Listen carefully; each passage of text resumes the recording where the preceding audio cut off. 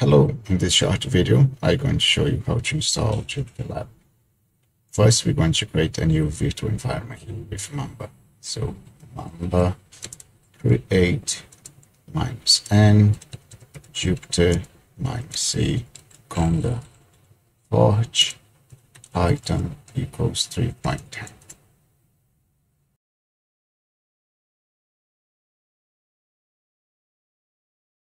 Let me clear the screen.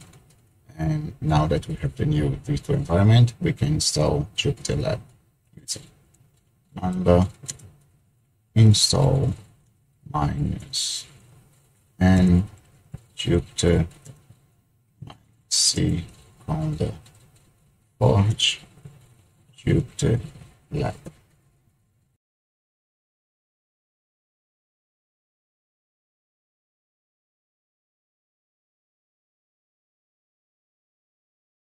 Now Jupyter Lab was installed. Let's clean the screen. And to start the Jupyter Lab, we're going to start the virtual environment with Mamba activate Jupyter.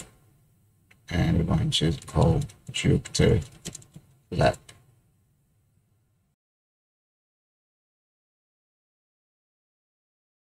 And here it is your installation of the Jupyter Lab. Thanks for watching.